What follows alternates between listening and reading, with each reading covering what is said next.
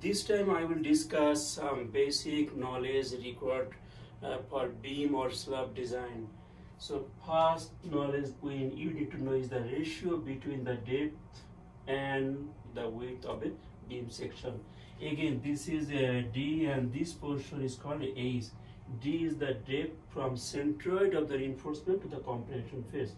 ACI code recommends D by B should be within 1.5 to 2. This ratio is, is, is very like very good uh, considering everything. Now, can it be 1.4? Is it, is, it, is it a mistake or wrong? No, it's okay. But this ratio is good. If you're, if you for your if the ratio is say 2.2, is it wrong? No. Is, is it okay? It's okay. But 1.5 to 2 is a recommendation based design. Okay, so um, uh, number two. Number two is what number two is the is minimum. That means what should be your thickness, thickness of the beam. We call this the thickness for slab is what is the minimum thickness. So we should provide some minimum thickness uh, so that when load is applied or wherever uh, or whenever you will walk about the structure, it doesn't vibrate so much. Very thin slab, it, it, it vibrates a lot. Yes, in a multi-story building, uh, sometimes you hear the noise upstairs. Why? If the slab is thin. So we need to make sure, uh, we, we need to make sure the thickness has some minimum value. What is that? Uh, ACI recommended some value. It is in your book table 4-1. But I can remember that for a simply supported beam, simply supported solid,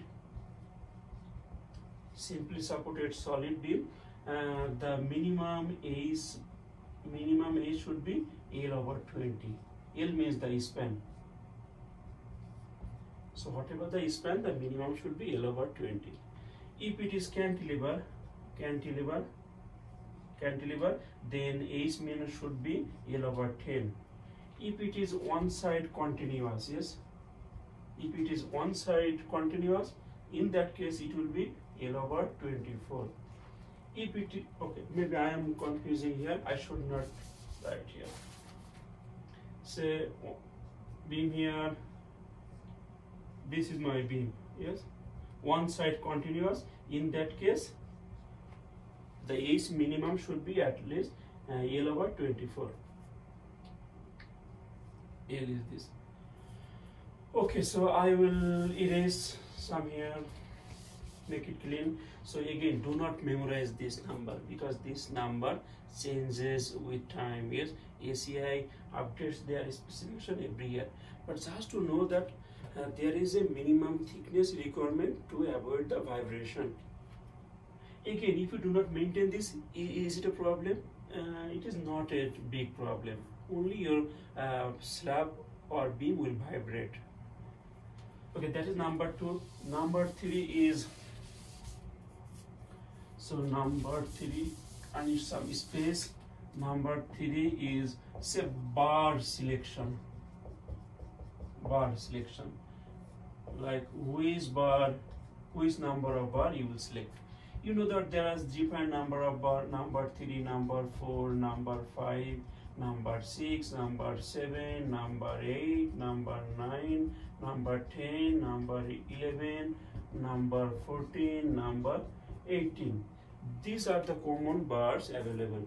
Which bar to select? Which bar to select for this one? So these two bar typically for tie or for tie or stirrup uh, for ties yes right here ties this bar we commonly use in slab. Commonly use in slab. This bar we commonly use in uh, beam column. Beam or column beam or column we try to use this bar. This bar we try to avoid because it's so thick. Number 14 is this number 18 is this. It's difficult to bend. So we try to avoid but again in breeze in breeze we need huge reinforcement. In that case we, we provide this. In normal structure we do not try to use this. Even number 11 better to avoid because very difficult to bend. So 9 10 is good for beam Now this is general, yeah, general. If we use say number 9 for slab, is it a problem? No. But typically people uh, people follow this this uh, common practices. Okay, then number 4. Number 4 can be tie size. Tie or stirrup, yes. Tie or stirrup size. That means what is the size of this tie? So if I clean what is the size of this tie? That is number number uh, four. I already told you number three or number four. When if this reinforcement, if this reinforcement up to number 10, then uh, this tie should be number 3. If it is over number 10, then your tie should be number 4. So if the main reinforcement is up to number uh, 10, then your tie should be number 3. If this bar is 11 or more, number 4. The other thing here is sometimes we use hanger here. Hanger. Hanger to hold this tie. What is the size? Typically one size larger than this. If it is number 3, this is number 4. If it is number 4, this is number 5. I also saw that many companies, they always use number 5. That is okay. It is not sharp, just general practice or to start uh, starting point. Okay, if I go to your book, the next is uh, cover. Say five is cover. Cover means what should be the cover material here? The cover material here. This cover. So outside the reinforcement, outside the tiger, what should be the distance? Yeah, why do we need to why do we need to provide this cover? Just to protect my uh, bar from corrosion so that water doesn't go here. What is the distance? In 1.5 inch for beam and column interior. In interior environment where there is no chance of getting water, 1.5 inch for beam and column is good. If if my if my reinforced concrete section is outside if we use it outside say for example in foundation where there is soil water close to CPs where there is water in that case we make this value 3 inch. In that case 3 inch. Uh, or simply I say exterior exterior beam and column if it is exterior beam column foundation anything uh, 3 inch beam for foundation 3 inch for slab, if it is slab, we use 0.75 inch for slab. And slab is mainly for interior, so 0.75 inch. If the slab, uh, uh, slab has a chance of getting water, say in the roof, uh, if it is a, if, it, if there is a chance of getting water, then we should increase it.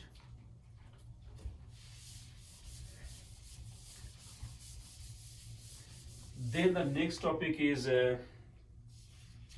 minimum spacing, number six. Minimum spacing. That means, say I have many bar, what should be the minimum space or what should be the clear space? What should be the clear space between any two bar? that memorize 1 inch or bar dia.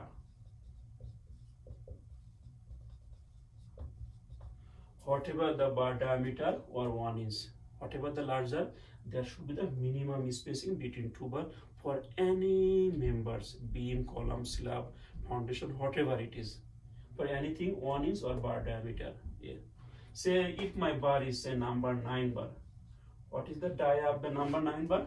9 by 8 inch so or 1 inch so 1 inch or 1.125 inch so for this case 1.125 inch okay the next topic is yeah i think i covered uh, everything in your book whatever they discuss uh, some knowledge before starting beam or slab design something else or, or something else?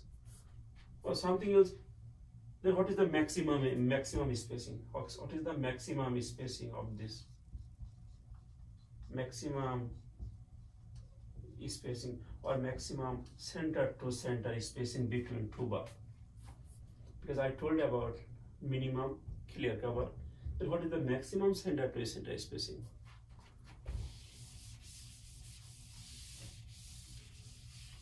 So that should be 3 times is whatever the is or 18 inch whatever the smaller. If the reinforcement is main bar if the reinforcement is for temperature, temperature we try to use in the middle, but most of the cases we cannot.